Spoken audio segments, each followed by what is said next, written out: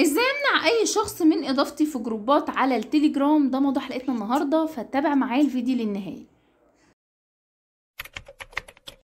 السلام عليكم. أهلا بكم في قناة ياسمين عاشور. النهارده هقول لك إزاي نمنع الأشخاص من الإضافة بيضيفوني في أي group وفي طبعا ناس كتير بتتضايق من الموضوع ده. ألاقي نفسي موظفة في أي group على التليجرام وده حاجة بتضايقني جدا. فيا ريت بقى قبل ما أبدأ شرح النهارده تعمل like للفيديو ده ولو أول مرة تشوف قناتي تعمل لي اشتراك في القناة ويلا بينا على التليجرام.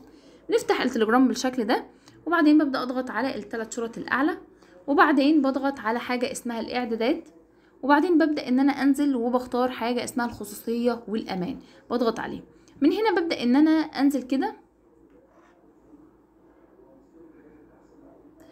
هنا المجموعات والقنوات ببدأ أنا أضغط عليه وهنا من يمكن إضافتي للمجموعات هنا عندي الجميع وهنا طبعا جهات اتصال. لو أنت عاوز جهات الاتصال مفيش أي مشكلة بتفعل جهات اتصالي. لو عاوز بنقفلها خالص بنضغط على لا أحد.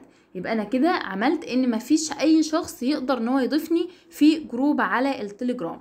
عندك أي سؤال أو استفسار اكتب لي في التعليقات. أنا برد على كل التعليقات. اشوفك على خير الفيديو الجاي. والسلام عليكم ورحمة الله وبركاته.